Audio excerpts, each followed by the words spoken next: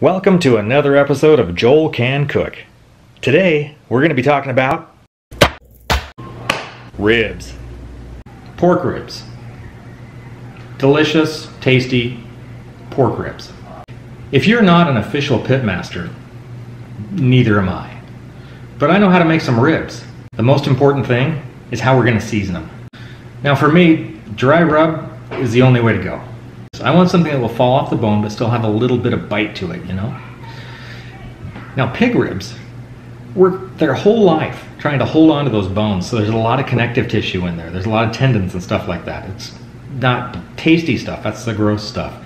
We got to cook all that out, so we got to go low and slow. I like to cook at about 275 for about three to four hours. However, if you're in a pinch like I am today and I started dinner late because I was making videos. Um, you can cook it a little bit higher, a little bit shorter. Just every time you do that, it gets not quite as tender afterwards. So keep that in mind. So I'm going to cook them today about 300 for about two, two and a half hours. And we should be good to go. Now making your own dry rub to put on ribs is not that difficult. All you need is chili powder, ground cumin, smoked paprika, coriander, celery salt, ground mustard. I don't have time for that. I've got kids they need to eat. So we're going to do some shortcuts. The secret to ribs is getting flavors on them that you like to eat. Period. I went through the cupboard to see what I have here, and I got some options. First one is this. It's called rub some butt. That's not appropriate. I'm not going to feed that to my kids. This is some kind of an Asian fusion mix. Eh, okay, maybe. Did you know that Frank's Red Hot comes in a powder? oh yeah, but my kids don't like spicy, some of them, so we're gonna skip that today too. There we go. Hickory barbecue. It has basically all the same spices that I held up, only they're pre-mixed for you. Very handy. I'm going to use this, and I might put a little rub some butt on it too, just because it's basically a mustard vinegar mix. You really can't go wrong with that. First thing we got to do is take a look at these ribs. They're nice and lean. The backside has this film across it. This was on the inside. It protected the ribs from the lungs. You don't need to know that. That's too much information. But it comes off pretty easy, and if you take that off, the seasoning can soak into the meat a lot better. And it's a little bit bitter if you leave it on there to try and eat it. It's hard to pull the ribs apart. Just take it off. It's not that bad. You got to get a knife underneath it, and then you start peeling it, kind of like uh, kind of like you're peeling the sticker off of a pickle bottle, if you know what that feels like.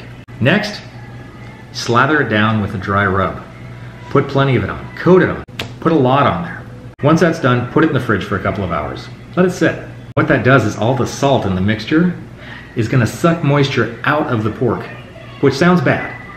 But then, after an hour or two, that pork is going to start sucking all that moisture back in again. And that's where the magic happens because it's going to suck all of the flavor along with the moisture and the salt right back into the meat.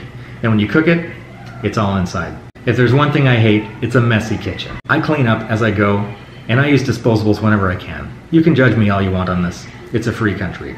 Whatever country you're in. If you're not in a free country, you cannot judge me on this. Fair enough. Once it's set in the fridge, throw it in the oven, put the bone side down so the bones kind of protect the meat from the juices, and let it bake. Right at the end, you can take it out of the oven, slather it down with barbecue sauce, and then put it back in, crank the oven up a little bit to like 350, 375. What that's going to do is it's going to bake that barbecue sauce right into it and give it a nice little glaze on the outside. I just want to eat it, so I'm probably going to put that glaze on on my plate. Now I'm going to be dipping and dunking as I eat. That's it. That's how you turn this into this.